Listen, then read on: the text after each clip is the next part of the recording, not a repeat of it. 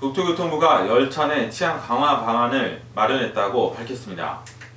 국토교통부는 연간 100건 내외의 직무 방해 사건이 발생하고 있어 지난 1월 25일 무관용 원칙 대응을 발표했습니다.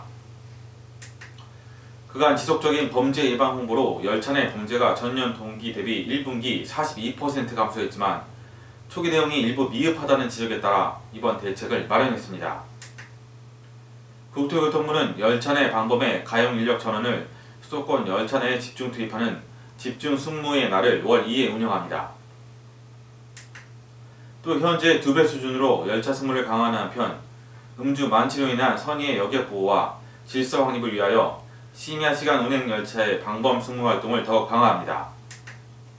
국토교통부는 열차 내 범죄 제로화를 목표로 국민들이 안심하고 열차를 이용할 수 있는 여행 환경이 조성될 것으로 기대하고 있습니다. KSD 뉴스 배종환입니다.